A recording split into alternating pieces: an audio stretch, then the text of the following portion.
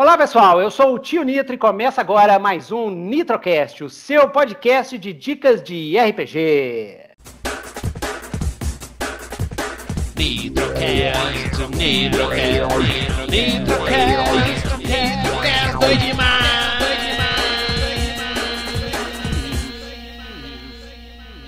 E hoje chamei de novo aqui o Lucas Oliver, que é meu chapa, é meu aluno também, então ele me ajuda lá nas aulas de inglês. Meu chapa e também é do que você faz RPG. Vocês checam lá no canal do que você faz, se inscreve. Eles têm RPG de tudo quanto é tipo, os caras jogam o tempo todo, né? E hoje eu chamei o Lucas para a gente falar do que, Lucas? Vai falar do que hoje?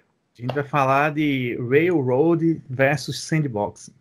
Railroad versus Sandbox, ou como eu botei aqui o título desse, desse episódio, é trama estruturada, ou aventura estruturada, ou trama estruturada, e trama é, plot, que a gente chama plot, né? Trama estruturada e trama improvisada nas suas aventuras de RPG.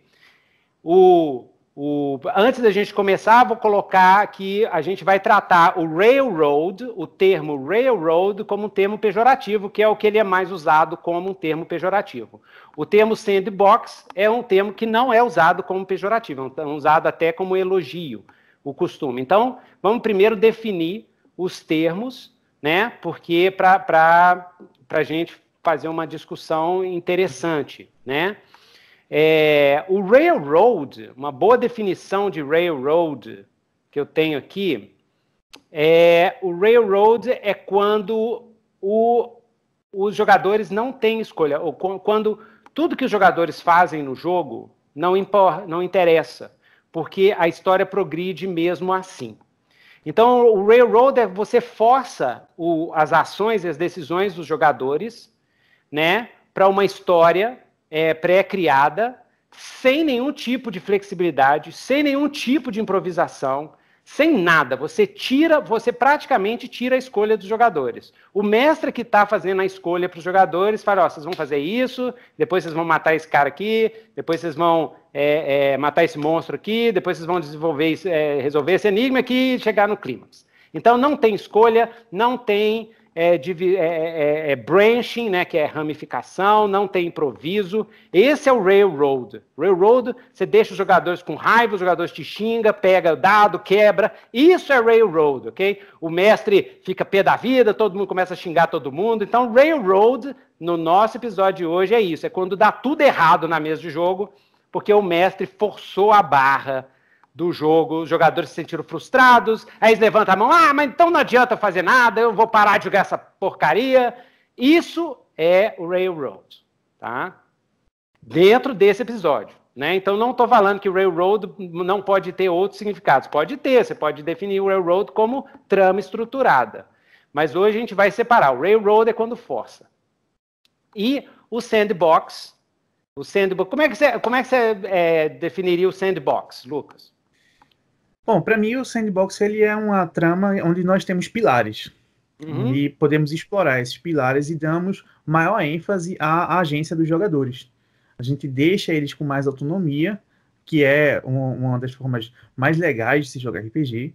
E uhum. essa autonomia que eles têm, né, que é natural, imita a vida. Né? A gente está ali para tomar decisões e fazer coisas grandiosas na maior parte dos jogos. É, é o que vai dar o caminho da, da, da história. Então, se os jogadores decidem ir pelo caminho A, B, C, ao invés de ir pelo C, B, A, é um problema deles. Então, isso vai dar a eles, inclusive, um senso de protagonismo maior, porque eles se sentem com liberdade e eles sentem que as escolhas deles vão influenciar dentro das histórias. Esse é uhum. um dos melhores pontos é, positivos dessa perspectiva de jogar em sandbox ou com a trama é, na mão dos jogadores estruturada. É, é, aí a gente hoje a gente vai esmiuçar bem o que, que realmente acontece num jogo sandbox e o que, que realmente acontece num jogo de, de, de trama estruturada ou de história pré, previamente estruturada, que a gente vai ver que é mais complexo do que uma visão binária de longe.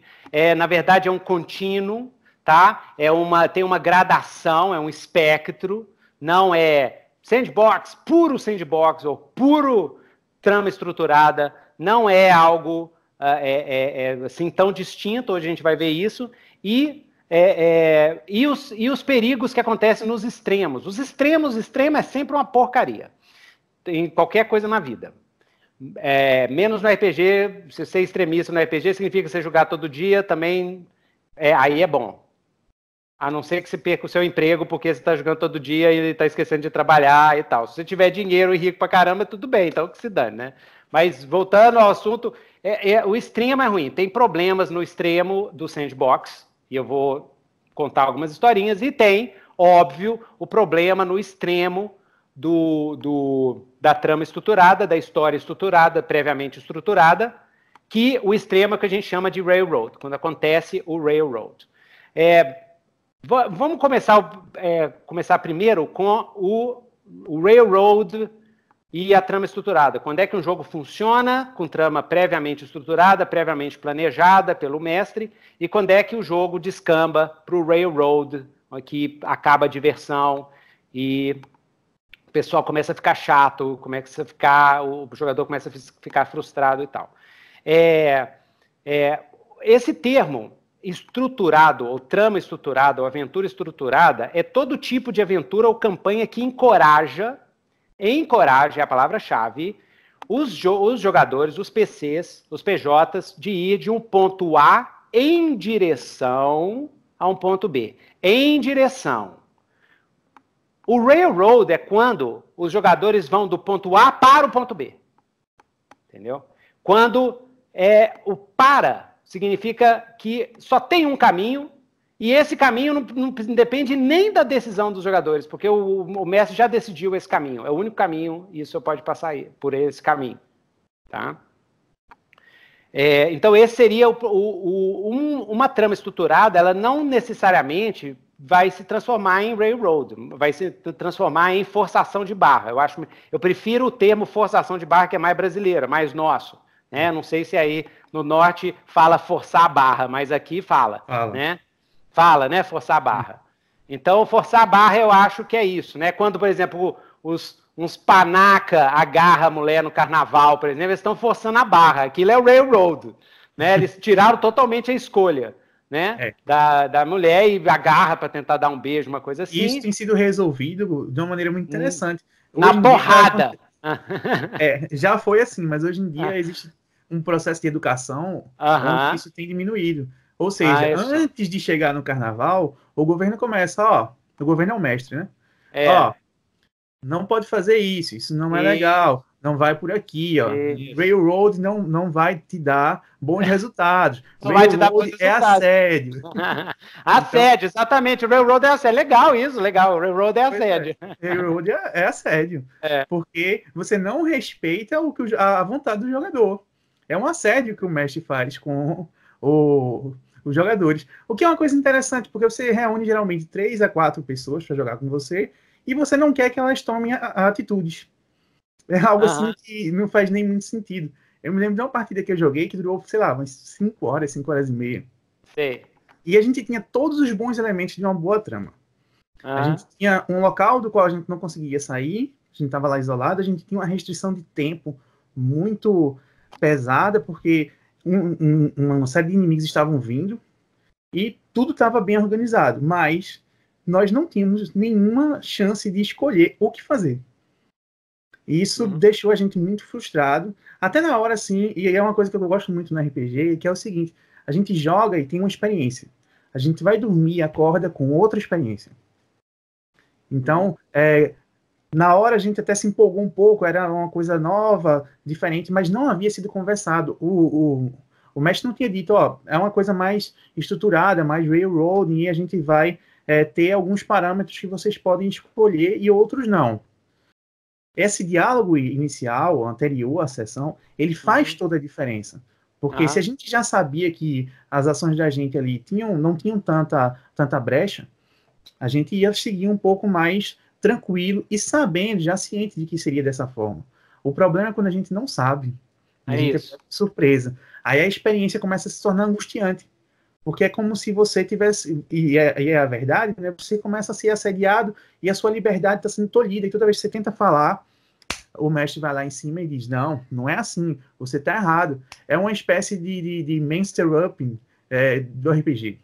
Que certo. o mestre no, no Railroad. Ele interfere, ele, ele impõe para você algo e ele não deixa você falar. Como se a, a sua visão do personagem ela tivesse errada. É. Isso é que é um o, dos problemas. O, o, o, que, o, o que acontece no Railroad é que o mestre toma o controle do personagem do jogador, ele toma o controle do personagem do jogador sem o consentimento. Isso é uma coisa que eu falo bastante. Né? Por isso que é assédio. Assédio é quando algo acontece sem o consentimento do outro. Né? Então, é, é consentimento é tudo.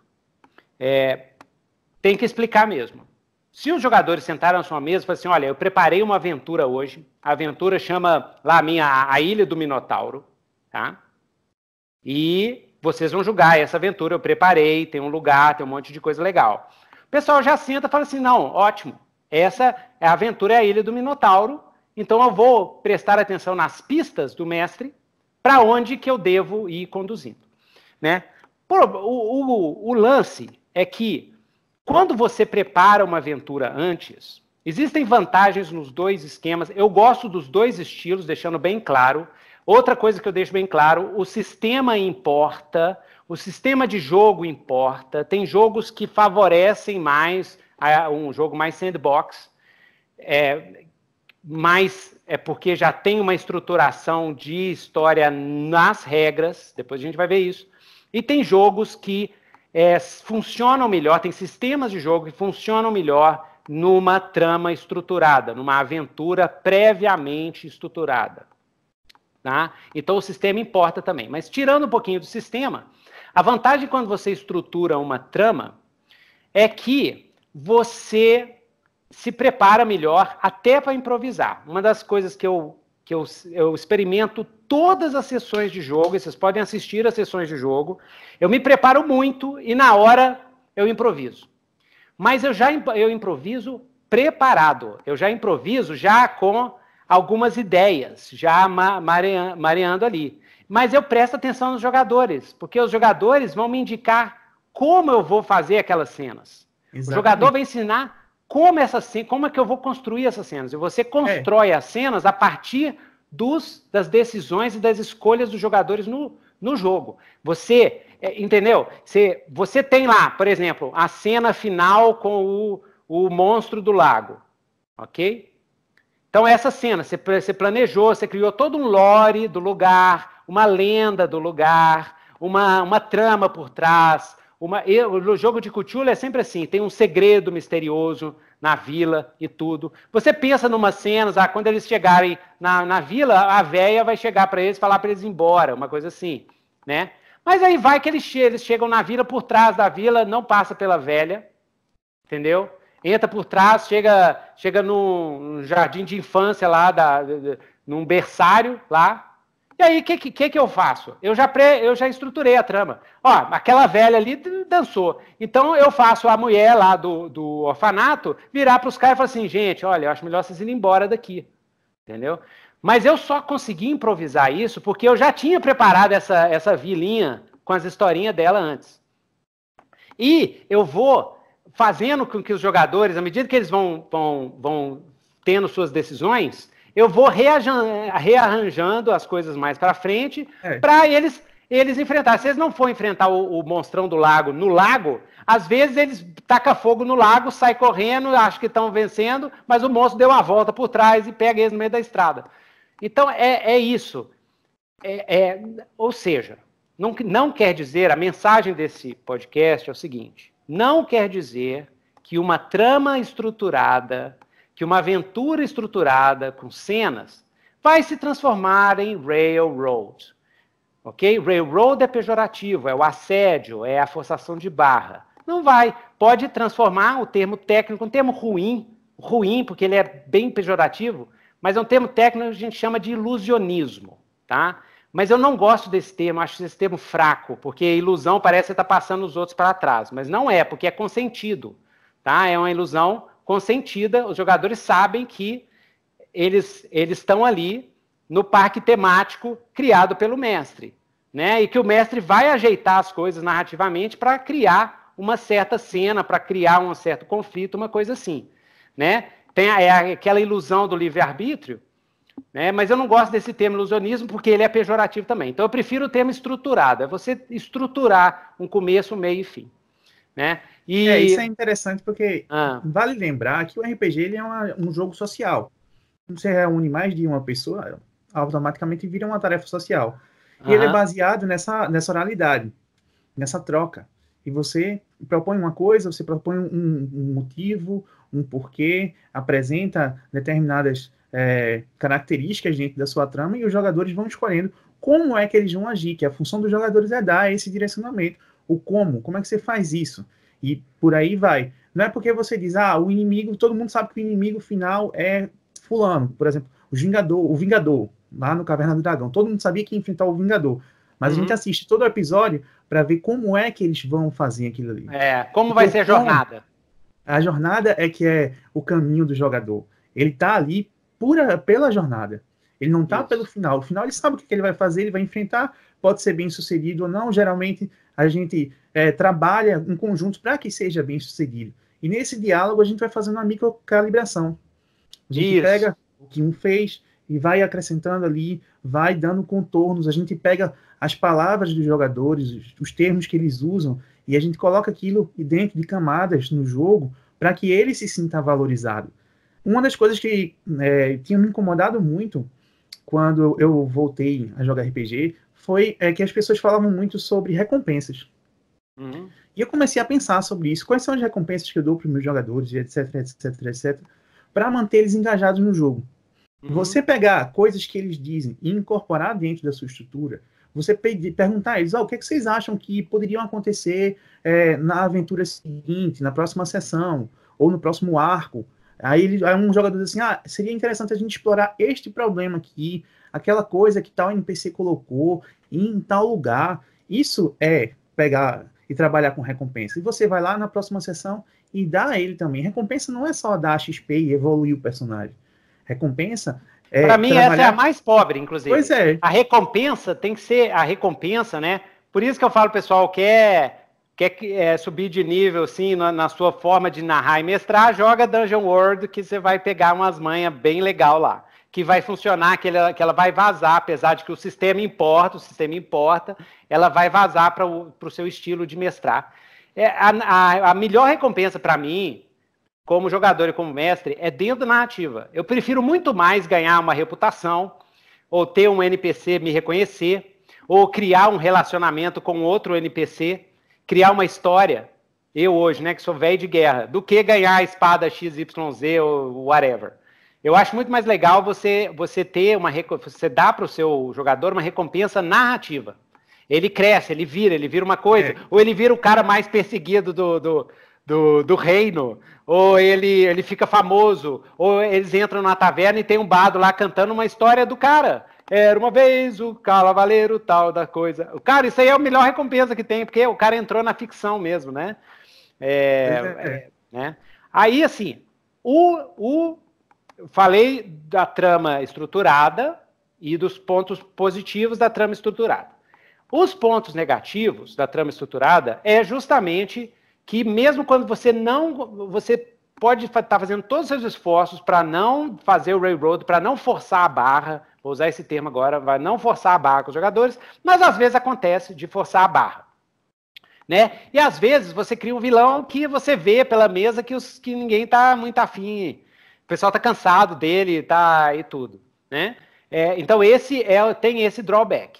A solução para esse drawback, para esse drawback, para essa desvantagem, para esse, é, para esse, para o perigo, né, do railroad na trama estruturada, é você fazer, usar do, do improviso, escutar os jogadores, ver se você, se, se, se você colocou uma coisa e é, vamos, vamos salvar os, os pôneis dourados da, da lagoa da, dos arco-íris. E aí o jogador lá, é um, o personagem dele é um mercenário, aqueles podrão demais, assim.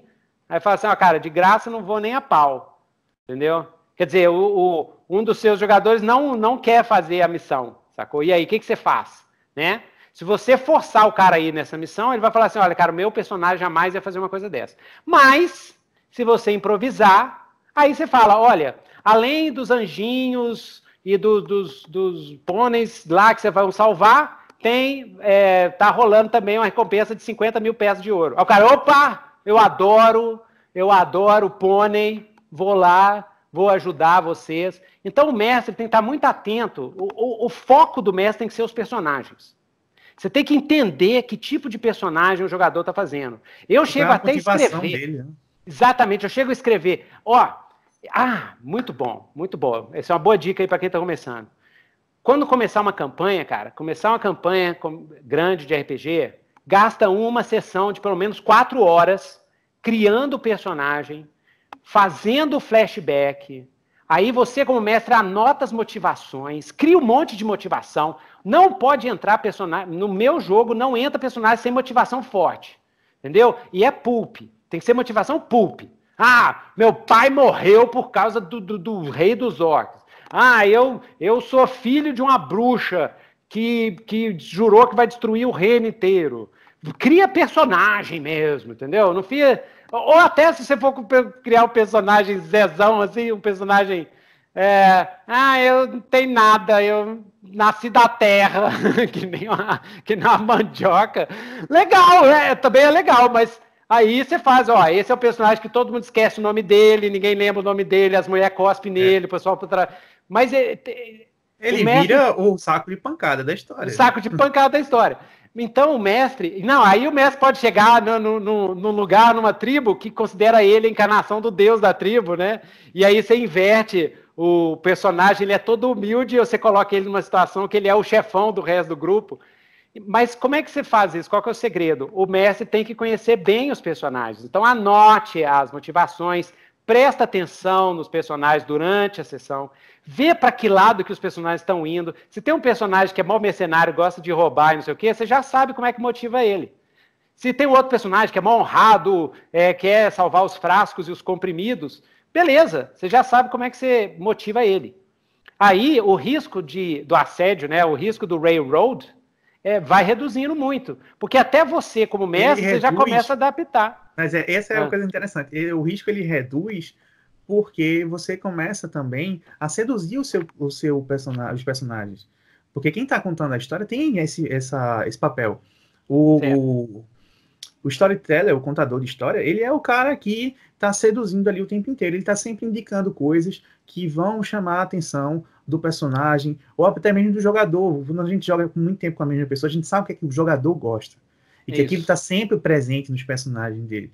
Então você uhum. vai puxando ali e dando a eles é, é, pistas, informações, motivações que vai trazer ele para dentro do jogo. Essa é, é, a grande sacada. Então você vai, você sai, mesmo numa, numa trama bem mais é, estruturada, você consegue puxar aqueles jogadores e fazer com que eles se apaixonem.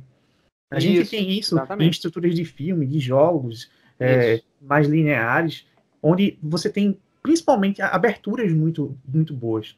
Quando você tem umas aberturas muito boas, você já fisga o, o espectador, o leitor, para que ele acompanhe aquela jornada. Exatamente. Para aquela ideia. Essa, esse é o grande ponto de virada da história. Porque quando diz assim, ah, quando todo mundo gosta, não é railroading. É, então, exatamente, porque não tem, essa, tem um consentimento. Tem é. um consentimento, tem um consentimento, né? Por que que tem videogames que o povo xinga as cutscenes? Xinga e quer jump, né? Tem até um, um podcast, um, um videocast muito engraçado de um site que eu esqueci, chama Unskippable, que eles fazem gozação com esses videogames que tem aquelas cenas enormes de cinematografias, você fica tentando dar skip e não tá, você tem que assistir é. o trem todo. E como tem outros jogos, como o último God of War, que você assiste e fica babando na, na, na cutscene, porque a cutscene ela foi bem feita, ela, ela tem drama, ela tem coisa, ela tem coisa que vai usar no, você vai usar no jogo depois que quando soltar e você poder controlar o personagem, você já vai entender a motivação lá do Kratos, por que, que ele tá, o é. relacionamento do filho dele. Então, é, é, é, tudo é técnica, tudo pode ser bem usada, pode ser mal usada. E tudo beneficia de de, de, uma, de uma comunicação mais aberta de você com os jogadores.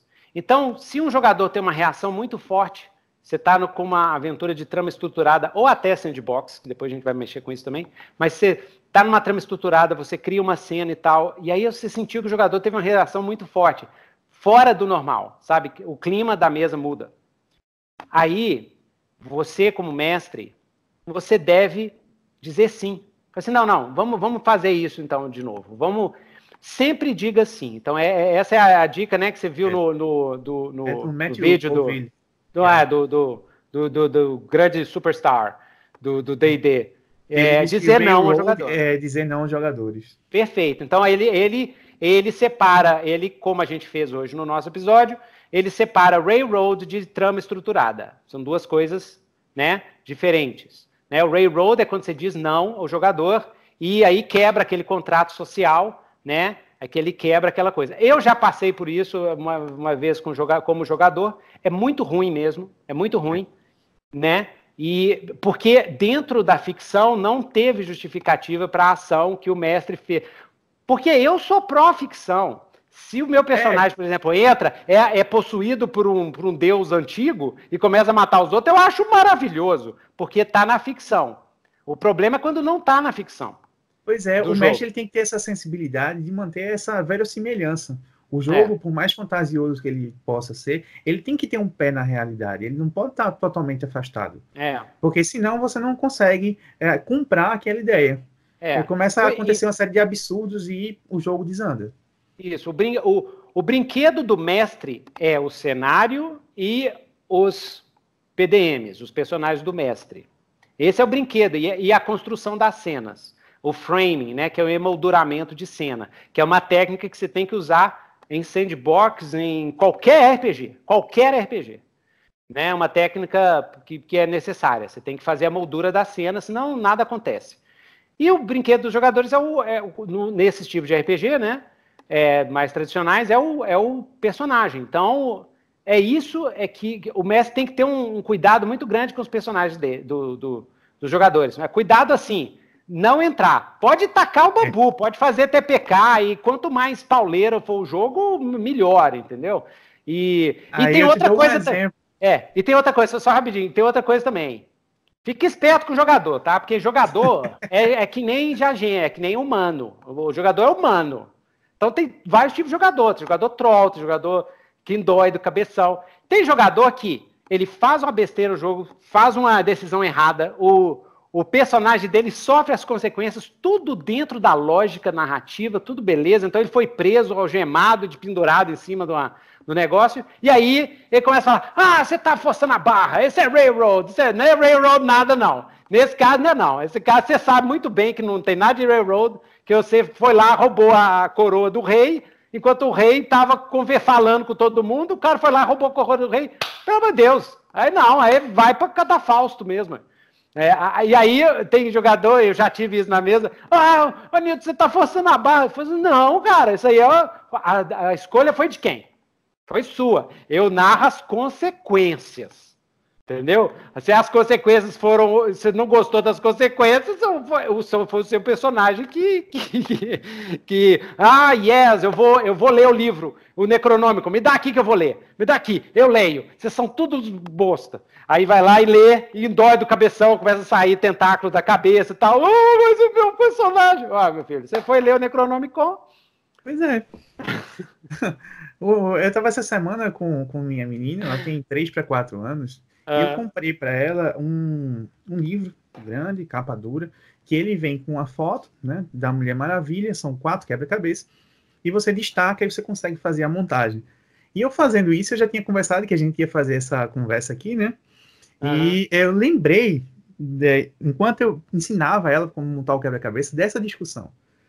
Porque o, o quebra-cabeça ele vem dentro de um quadrado, né? O sandbox. Sei, a gente destaca lá cada uma daquelas pecinhas como se fosse um elemento da narrativa e bota todas elas é, no, no chão, né? No caso, né, que a gente estava montando no chão. Então, ela começa. Eu fui ensinando ela um método de só. Começa pelo rosto, que é mais fácil de identificar, né? Ela é muito pequena ainda. Aí ela começou a montar pelo rosto. E o que é que eu fazia? Ao invés de eu colocar a mão lá e dizer, ó, bota aqui, encaixa assim, eu indicava. Ou às vezes eu mexia um pouquinho nas pecinhas para que ficasse numa posição que ela conseguisse enxergar que aquilo estava lá. Para dar uma direção. Para dar um direcionamento. Você, você só aponta. O mestre só aponta, mas não faz mais nada. Como um Aí pai. Pegava e colocava Exatamente. lá. Aí ia montando. É, para ela, é. ela ia percebendo Perfeito. devagarinho como montar as peças. Nossa. Mesmo que eu colocasse a, as peças de maneira a isso ficar muito evidente. Porque o mestre, o que o mestre faz é isso. A show, gente coloca show. elementos dentro do processo para que se perceba isso. Que nós somos os olhos e ouvidos dos jogadores. Né? Então a gente vai colocando esses é, detalhes. Eles, eles, ir montando Eles irem montando e tomar as decisões próprias é. dele.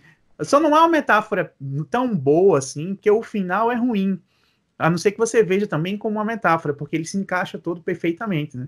E as histórias nem sempre se encaixam não, perfeitamente mas... e não chega onde a gente quer. Mas eu gostei da metáfora, porque da metáfora para a trama estruturada, para a trama estruturada eu gostei, porque quando os jogadores, você vai deixando, você vai deixando as pistas, você vai induzindo, você vai é. falando, você é. vai criando. Quando os jogadores montam uma peça errada, e você vai narrando a ficção, né, vai construindo com eles junto a ficção, a história, é, você pode chegar num ponto é, é, onde é, eles percebem que a trama não está indo, não está é. caminhando. Por exemplo, Porque a aresta eles... ficou. Ficou aresta, né? Ficou por exemplo, eles... Exatamente. Ao invés de ir, ao invés de ir para a cidade, eles vão para um outro caminho, vão seguindo, e você vai falando: olha, vocês vão seguindo, a cidade está ficando longe, e até que vocês chegam num lugar, num porto, e vocês perguntam sobre a pessoa que vocês estão investigando, e o cara fala: Olha, eu nunca ouvi falar disso, não, mas você deve estar falando de uma, de uma cidade que é lá para o outro lado. Aí é a peça errada, entendeu? Uhum. E é lá, aí eles vão ter que decidir se eles vão ficar nesse lugar ou se eles vão ter que voltar e. e... Que a peça errada seria essa, né? No, no, no caso de trama estruturada. Mas outro segredo para trama estruturada é o seguinte: é, é, a vantagem é que você vai para a mesa com mais, é, é, com mais ideia e com, com mais. A estruturada ela funciona muito bem para one shots. É. Não, mas você tem um tempo limitado. E essa dimensão do tempo limitado faz com que você de vez em quando tenha que forçar um pouco a mão. É. Forçar a barra.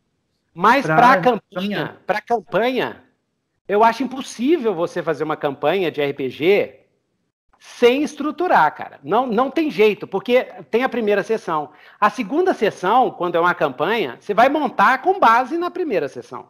Com base no que os personagens fizeram, nos NPCs que eles entraram, aí você começa a criar os plots e tal.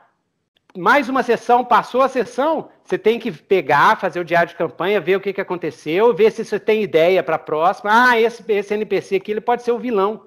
Ele ficou amigo deles aqui. Quando ele for o vilão aqui no próximo episódio, eles vão ficar doidos. Eles vão falar: nossa!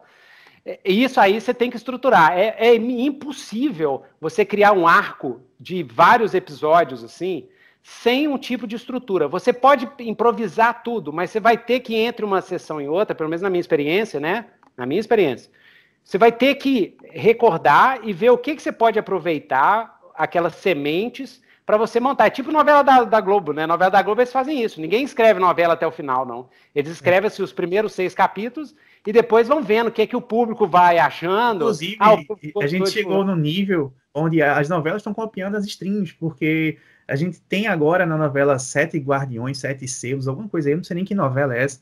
O autor colocou para votação qual o próximo personagem que vai morrer. Uhum. Imagina, a gente tem, por exemplo, lá atrás, a gente tem a próxima vítima, que é uma novela antiga, onde morria um monte de gente, é. e a gente não tinha como votar, né? Então a gente tinha um Railroad lá na Globo. Agora a gente tá mexendo com o sandbox. Tá porque o espectador, ele é. consegue mexer lá e dar a sua opinião. A sua, a sua opinião e ir direcionando. Então o segredo da, da, da trama estruturada é direcionar e não empurrar, carregar sem o negócio. Agora, vamos pegar a, a sandbox. Tá? Então, para definir sandbox, eu vou definir sandbox como é, é, uma campanha que permite que os jogadores escolham absolutamente tudo que os seus personagens vão fazer.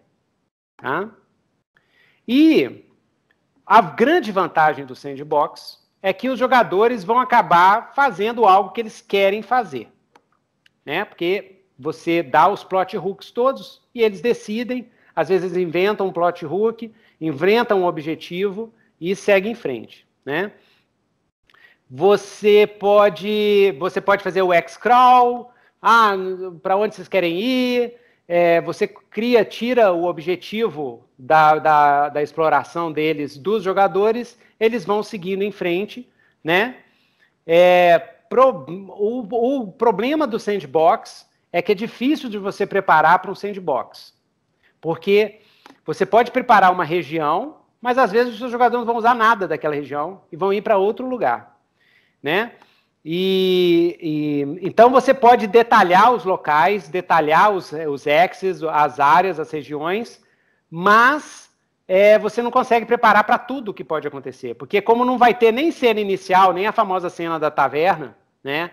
Os caras sentam na taverna, alguém chega, não, não vai ter nada disso, porque, porque a trama não foi estruturada antes.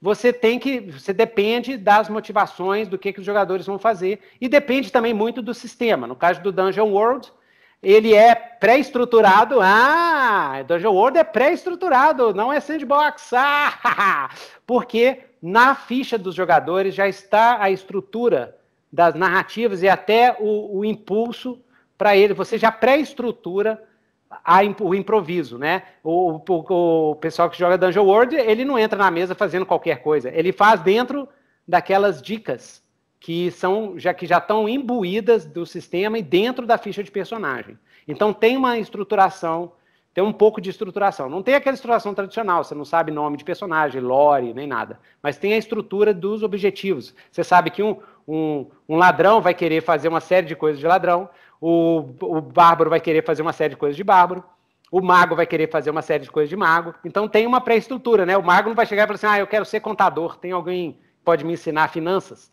Ele provavelmente não, né? Mas pode acontecer também, né? E é, então é difícil de preparar. Antes do jogo, você não pode preparar para tudo.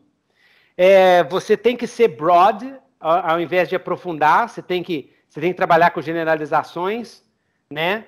É, é, muito difícil fazer, por exemplo, um Game of Thrones totalmente sandbox, porque você vai ter que ter todo um arcabouço criado de famílias e, e e linhas e políticas e não sei o que, né? E é,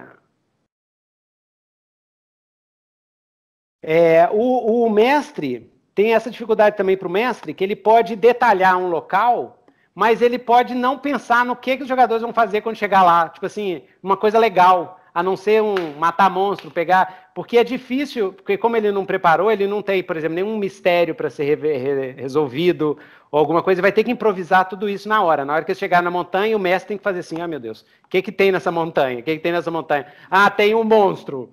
Vocês mataram o monstro, e aí? E aí, esse monstro, esse monstro, esse monstro é filho de uma bruxa que mora do, na outra montanha. Aí tem lá o escrito, ó, mãe, vou levar o pão. Aí os jogadores pegam isso, Fala assim, aí eles falam assim: ah, não, chega, não gostei disso não, vamos lá para aquela cidade ali. E aí a, a, bruxa da montanha não foi, né? E a, a, outra, agora, a grande vantagem do sandbox é que os jogadores são proativos. Você força os jogadores a agir, a criar, porque os jogadores vão ter que criar suas motivações. Né? Eles, eles vão ter que buscar aventura. Então, para jogador. É importante porque, né? em geral, é, quem traz as motivações sempre são os vilões ou os problemas que ah, o cenário enfrenta.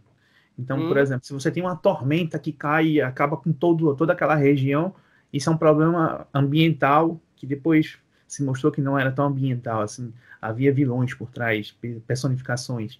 É, então, tem essa, essa é perspectiva dos jogadores sempre serem, e principalmente dos é, personagens, serem reativos e no sandbox ele, você dá a possibilidade deles serem um pouco mais ativos e, sem, e não entrar nesse esquema de estar tá só reagindo, só reagindo. Eles conseguem, é, de forma original, dizer o que, que eles querem fazer e que caminho seguir. E a gente vai ali também caminhando e trazendo novidades. É mais difícil porque você tem que improvisar, e na improvisação é, é algo que você joga... tem que aprender. Os jogadores têm que ser criativos também, porque é. se for aquele jogador, ah, não sei o que eu vou fazer, não. Ah, perguntar, tem algum tesouro aqui perto? Tem algum, né, algum monstro? Aí entra o lance do sistema. Você tem que ter um sistema de jogo que ajude aos jogadores a criar suas motivações, como Dungeon World, como Fate, eu acho que é assim também, tem muito tempo que eu não jogo. É, tem sistemas que eles já têm embutido, ou se você for usar um, um sistema D&D, alguma coisa assim, a criação de personagens você vai ter que colocar é, já as motivações, mas aí já vira pré-estruturada, né? Porque vai ter um mundo, você vai ter que colocar as motivações, essas motivações vão ter que encaixar no mundo que o mestre está trazendo, né? O, o sandbox, para mim, é, é o, o, basic sandbox mesmo, core, é, limpo, inclusive é o mais old school possível. É a Dungeon Crawl. O Dungeon Crawl não tem nada mais sandbox que o Dungeon Crawl. Porque Dungeon Crawl, o cara entra na dungeon e começa a andar. Esquerda ou direita? Ah, eu vou para esquerda. Pá, ah, tem um, um borbulho vindo ali, vai para direita. Tá. Aí abre a porta, vem monstro, mata, segue, vai explorando, ou então quando você faz um X-Crawl, os caras vão explorando do jeito que eles acharem melhor ali e tudo, né?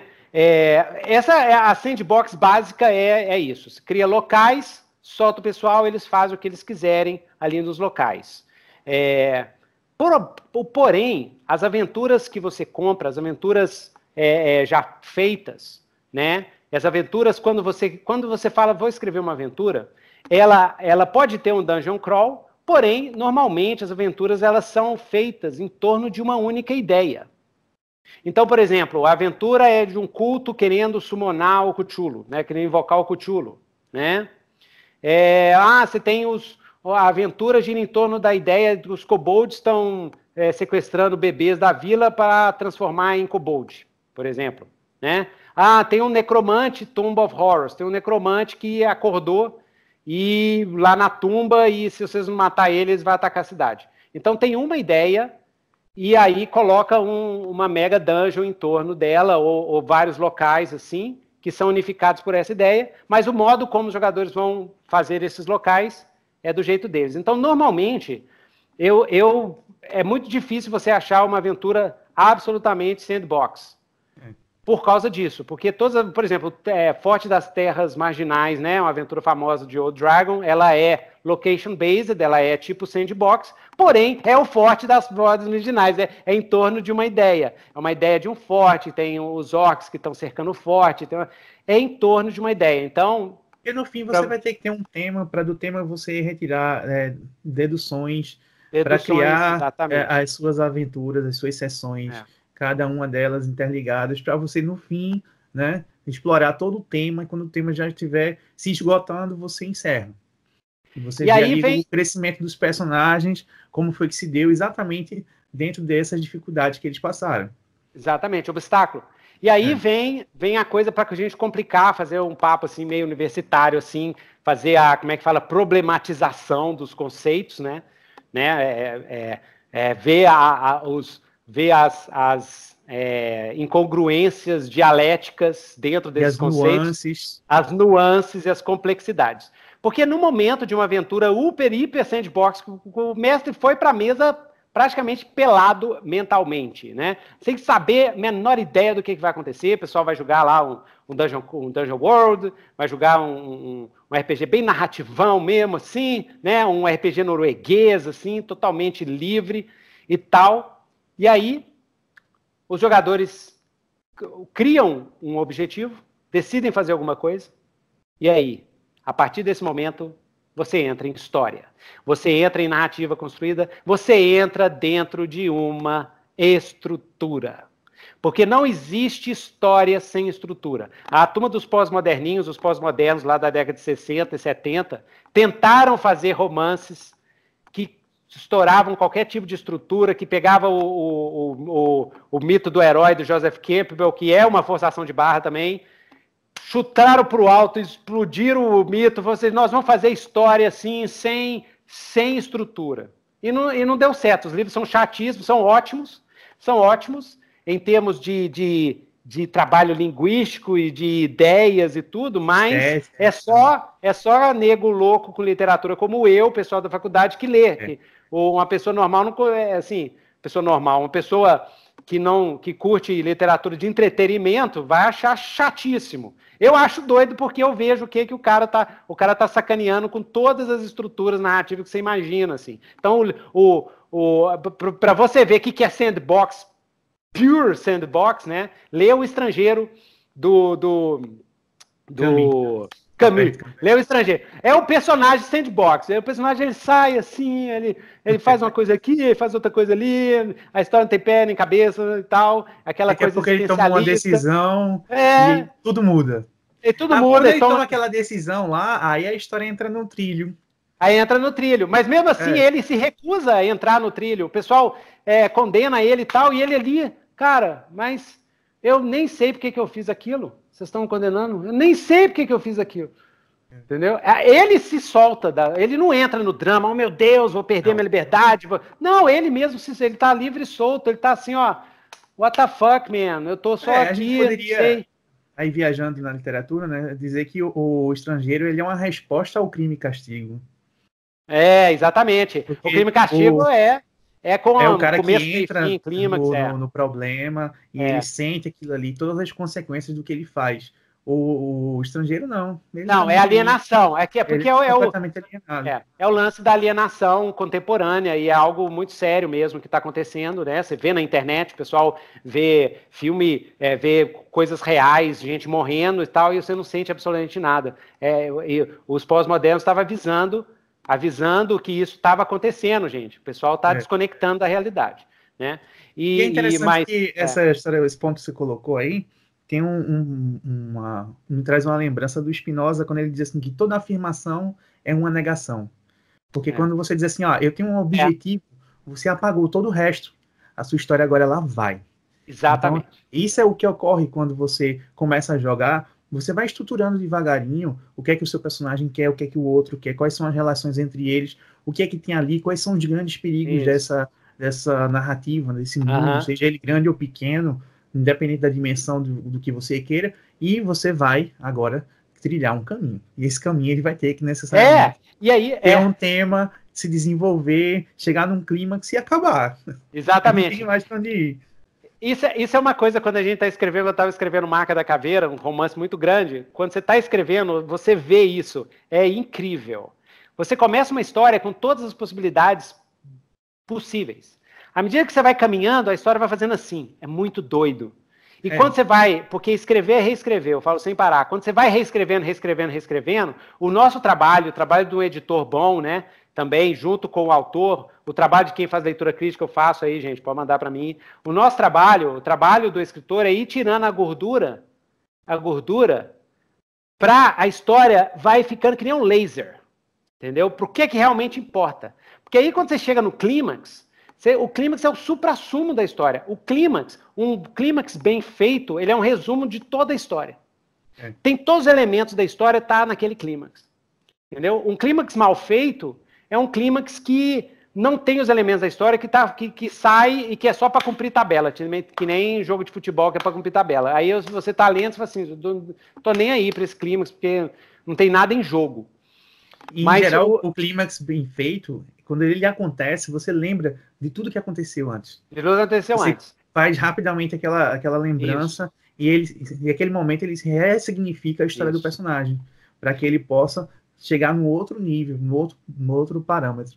Então aí Esse, voltamos, voltamos ao sandbox e o, e o a, a, a, sandbox não, vamos usar os termos certos. Voltamos para a trama estrutu, previamente estruturada, a trama estruturada antes e a trama improvisada durante o jogo.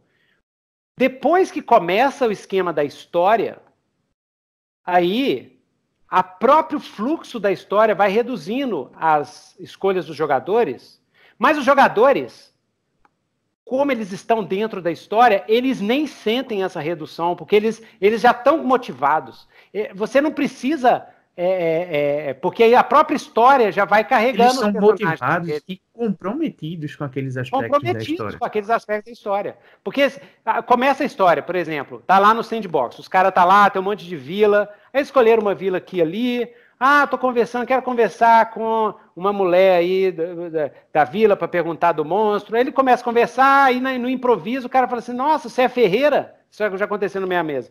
Você é ferreiro? Sou, eu sou ferreiro e tal. Aí ajeitou lá as armas do mago, do, do, do guerreiro, e o guerreiro começou a conversar com ela, quanto tempo você está aqui? Ah, tal, meu sonho é ir pro, pro reino tal. Aí ele é do reino tal, lógico, né? Eu sou mestre, né?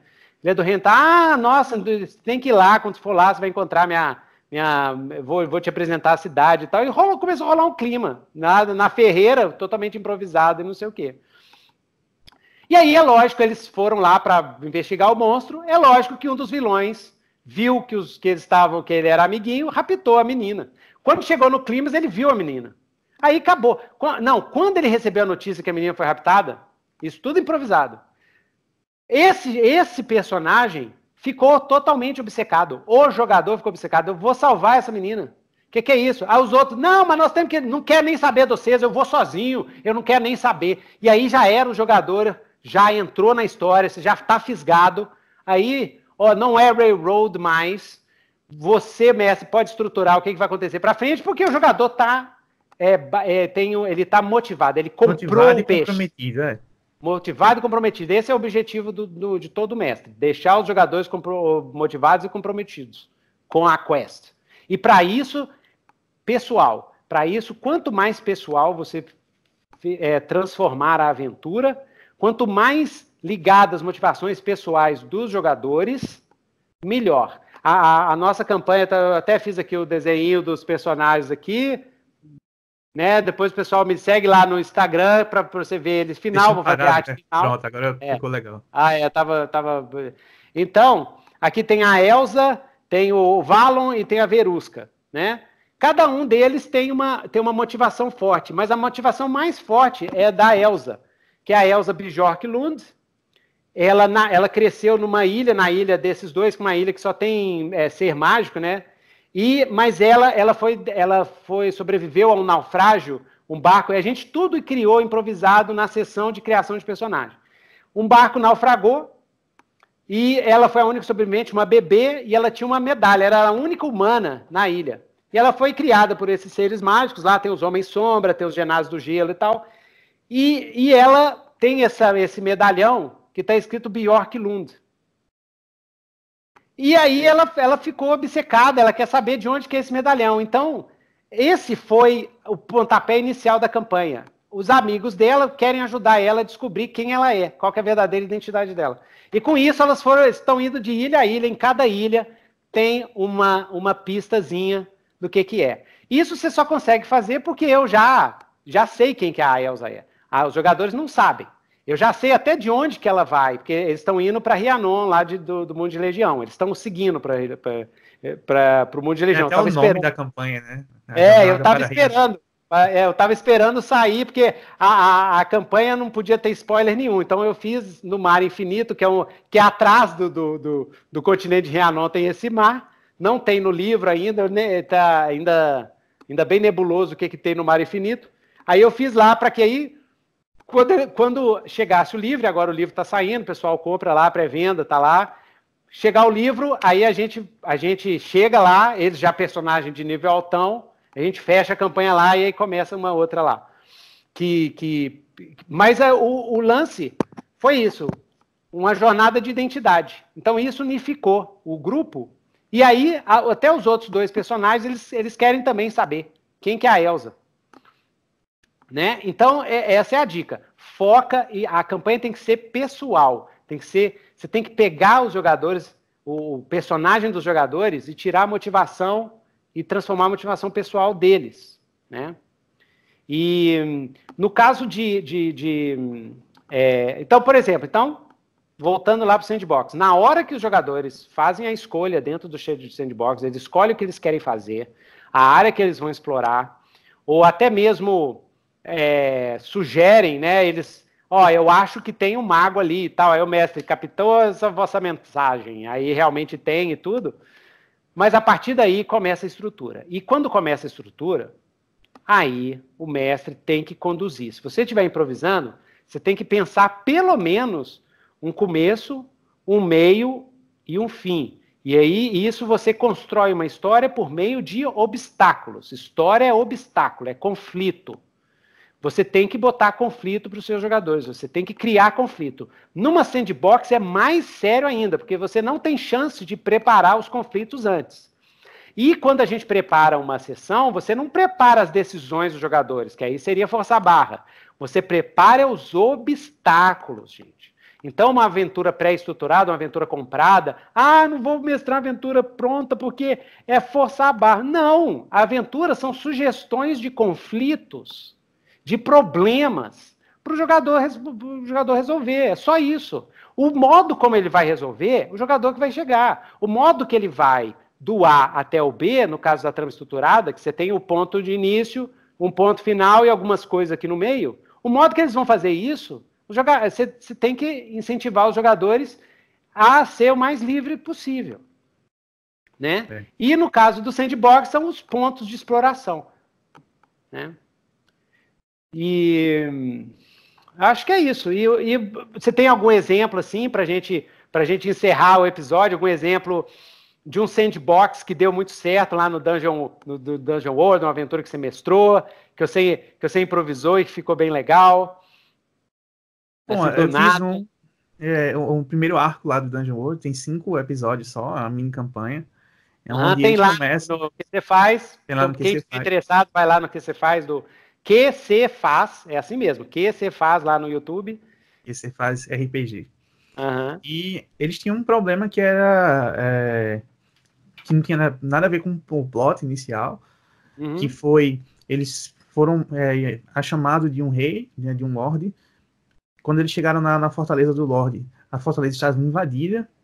E eles tiveram que sair de fininho e investigando o que é estava acontecendo com a filha do lord e as intrigas políticas. Isso tudo muito rápido, assim, só são cinco episódios, tem que ser tudo muito rápido. Eles descobrem é, ecos de um outro mundo e okay. quando eu terminei de mestrar no quinto episódio, eles descobrem quem foi que trouxe esse eco do outro mundo. Que era um dos personagens jogadores. Ah, que legal. Legal. Mas aqui, mas essa troca. De, depois da primeira sessão, entre a primeira e a segunda, entre a segunda e a terceira, você preparou? A gente faz um mínimo de preparação, a gente tem que ter alguns ah, pilares. Como, por tá exemplo, vendo, o final. Então você é tem assim, que ter o direcionamento do final. Alguma coisa. saber como é que aquilo vai se mostrar, para que os jogadores possam comprar aquela ideia. Exato, então você teve que estruturar. Você teve que estruturar alguma coisa, eu você criei, teve que rabiscar alguma coisa. No último episódio eu criei todas as criaturas. E elas tinham que ser diferentes, porque elas eram de outro mundo. Então fui pegando informações de várias é, criaturas diferentes e montei monstros únicos para mostrar a eles que aquelas coisas eram esquisitas. Uhum. E eles uhum. compraram a ideia. E foi fantástico. O último episódio ele é excelente. É muito melhor do que o primeiro, porque também ele resolve uma situação. Não, é. Né? Aham, aham, exatamente. Então você, então você viu que para você construir uma história mais complexa, uma história que tem um payoff, né, que, que, que tem um, uma, uma recompensa emocional para os jogadores, você tem que parar um pouco e dar uma estruturada e pensar direitinho como é que você vai construir aquele clímax, o que, que pode acontecer e tal. Então, gente, a mensagem desse episódio é que não existe um conflito entre dois tipos, dois estilos de jogo. Não existe nada disso. São técnicas que têm os seus pontos positivos, têm os seus problemas, né? Eu, eu já tive um problema com a Aventura Sandbox que eu estava jogando e eu achei muito tédio total, porque nada acontecia. E era muito inócuo, assim, entrar, matar dois goblins e depois sai, aí tem um gigante e entendeu? Sim, não, não tinha uma, um fio de história e eu sou um cara mais de história, né? Tem gente que é mais pancadaria, aí adora. Então depende. Depende também dos jogadores que você tem. Você tem que sempre pois trabalhar. É, isso é uma coisa importante, porque muitas vezes a gente coloca toda a pressão da, da, da conversa em cima do mestre. Mas os jogadores eles são igualmente importantes. Se a gente abre uma aventura sandbox e diz, ó, você vai poder contribuir ativamente para a história. Se o jogador não contribui ativamente para a história, a gente não tem um, sandbox. A gente vai transformar Isso. aquilo num railroad rapidinho. O. Um, o mestre mais experiente ele vai sentir, vai dizer, pô, ninguém está comprando essa ideia do, do sandbox, vamos colocar uns trilhos aqui para fazer essa história andar.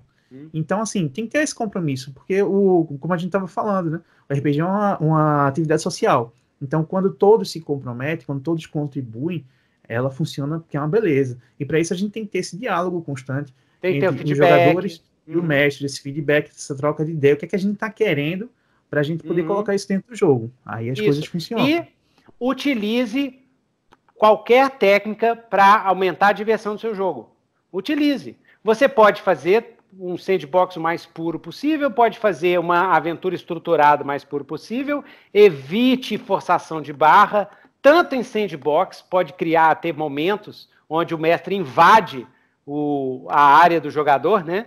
Que é, invade sem o consentimento do jogador, então cuidado com isso, isso pode acontecer, porque no momento que o jogador começa, faz uma escolha numa aventura sandbox, começa a estrutura. Começou a estrutura, você corre o risco de railroad, mesmo numa aventura sandbox. Essa complexidade que eu queria trazer no, no podcast, para bem contextualizada, pra, porque tem muita gente que tem um pouco de dúvida e não sabe o que.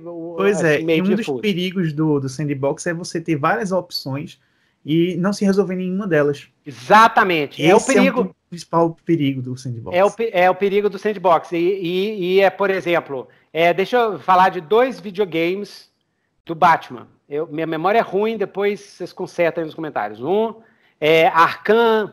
Tem dois videogames, é Arkham. Tem um Arkham, é, Return to Arkham, é, o Arkham City. Arkham City. Ah, e tem um Arkham. Ele é aberto. Tem, então, é, o Arcanazile é fechado. É fechado. Né? E o Ar... aí, exatamente, exatamente. Eu, eu adorei o Arkham Asylum e eu detestei o Arkham City. Não gostei do Arkham City. Adorei o Arkham Asylum, não gostei do Arkham City. Por quê? Porque o Arkham City cai num problema que para mim é problema. É excesso de opção. Eu não gosto. Me dá ansiedade, me dá gastura. É. Eu não gosto. Eu. Eu sei que o deve ter gente que a ama, é o mas Arkham, eu não gosto. O Arkham Knight. E ele é também muito aberto e enorme. Ele é tem enorme. alguns pontos assim onde se segue uma linha principal da história, mas quando você fecha arcos menores. Então você tem um arco de vários vilões. Agora sim, é, você tem que ter, você tem que comprar esse tipo de história, porque se você não comprar, Exatamente. Fica um saco. Exatamente, exatamente. E eu, por exemplo, eu encaro o videogame de um jeito diferente. Eu encaro como o entretenimento, como uma história. Então eu gosto da história. Eu, eu, eu, eu quero experimentar, eu quero ter um pouco de liberdade. Eu gosto do meio termo, eu gosto de de liberdade, mas saber que tem uma direção. O problema é que, por exemplo, no Arkham City, eh, o jogo não tem direção. É, eu senti, foi o que eu senti na minha experiência. E eu prefiro muito mais o Arkham Asylum. Eu vi, vi eu entrei no Arkham Asylum, eu estava lá dentro dos caras, né? Mas eu gosto desse tipo de jogo. Literalmente, porque a gente tá preso dentro do Exatamente, exatamente. do Asylum. Né? Então, assim, cuidado quando estiver mestrando sandbox para você não é, deixar aberto demais ao ponto dos seus jogadores ficarem perdidos, dependendo do sistema. No Dungeon World eles não vão ficar perdidos porque o sistema já vai direcionando eles para alguns pontos para algum tipo de estrutura de narrativa. Né? Então é isso, acho que a gente falou bastante. Né? Se tem mais alguma falou. coisa para acrescentar? Não, é isso aí. Eu só queria acrescentar, agradecer aqui o convite, né? Estar tá mais oh, uma vez aqui. Ah. E dizer às pessoas que visitem lá o que se faz RPG. Exatamente. Que lá que, tem que... muitos jogos. Atualmente a gente está jogando uma campanha do Numenera. Essa semana, eu não sei quando é que vai sair aqui, mas na, quinta, na terça-feira a gente vai jogar uma adaptação da ah. Ordem Vermelha, do Felipe Castilho. Ah, sei, sei. Adaptação para Dungeons Dragons. Pra Dungeons... Não, para Crônicas RPG. Ah, para Crônicas RPG. Legal, Isso. legal. E na quinta o livro é muito o... bom. Tem a resenha aqui no Newton Nitro. No canal Newton Nitro você tem a resenha lá da Ordem Vermelha. Um livro muito, muito bom. Tá? Top, muito bem escrito. O Felipe Castilho manda bem demais. E recomendo todo mundo aí, ó. Livrão, muito bom. Recomendo todo mundo. Massa. E, então é isso aí, pessoal. Lembra, ó. Cenário Legião, o tio Nito escreveu, tá lá, tem pré-venda. Chequem lá no site da Redbox. E Você até o próximo. O PDF, tá? É isso aí. Isso. Você já compra a pré-venda, já recebe o PDF.